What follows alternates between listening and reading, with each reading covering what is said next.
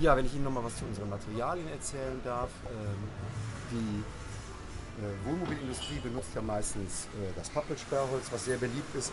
Pappelsperrholz ist sehr leicht, deshalb wird das verwendet. Wir benutzen allerdings ein anderes Material. Wir benutzen eine Birkenmultiplexplatte, die wasserfest verleimt ist. Ähm, auch beschichtet mit einer Phenolharzschicht, ähm, äh, genau wie das Pappelsperrholz. Bei uns allerdings transparent. Dadurch können Sie Kratzer auch wieder ausbügeln, sodass man sie nicht mehr sieht. Ähm, wenn ich das ganze Modul aus äh, Pappelsperrholz fertigen würde, würde ich 5 Kilo einsparen, was bei 700 Kilo Zuladung aber kein Thema ist.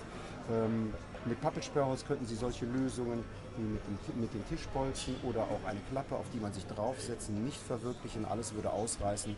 Deshalb verwenden wir Hölzer, die sehr viel fester sind.